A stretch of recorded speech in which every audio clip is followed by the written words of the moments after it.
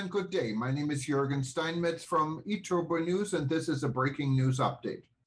For more news updates and shows, please go to youtube.com slash travel news group, youtube.com slash travel news group. Here's our update.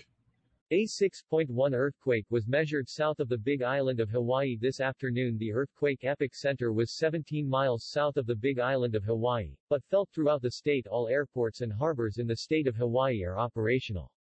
The Big Island, especially after the outbreak of the volcano has been known for constant smaller earthquakes. Today however 6.1 is a strength hardly ever measured in the Aloha state. Residents and visitors as far as Honolulu reported the earth shaking this afternoon. There are no reports of injury or major damages at this time. No tsunami alert was triggered, but USGS is monitoring the situation.